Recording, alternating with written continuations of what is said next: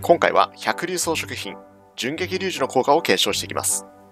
入れ替え技、ガードで攻撃をガードした際、大きくのけざらなかった時に、モンスターに打撃ダメージを与える。なかなか強そうな効果です。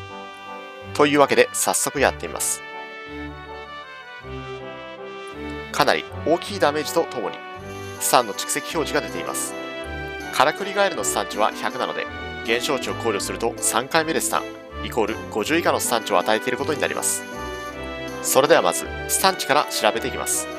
食事スキル、レベル1の補正は1.05倍です。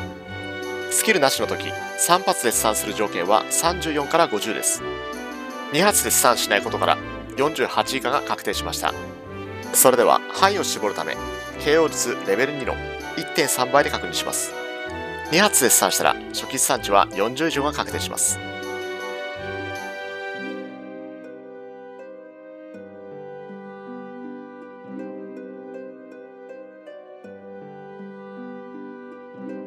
スタンしたため範囲は40から48です。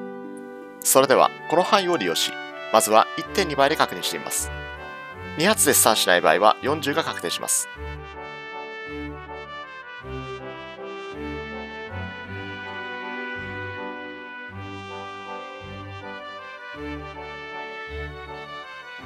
というわけで、スタン値は40です。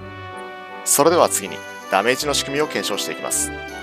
頭へのダメージは199でしたが、部位によって変化が見られるため、肉質の影響を受けるダメージです。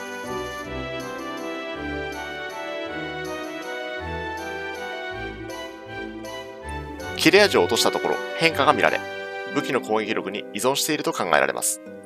まとめるとこのようになります。他のモーションと比べても優秀なダメージでガードを主体にする場合には優先したいスキルと言えます。ダメージの判定がある範囲は槍の先端ぐらいが目安です。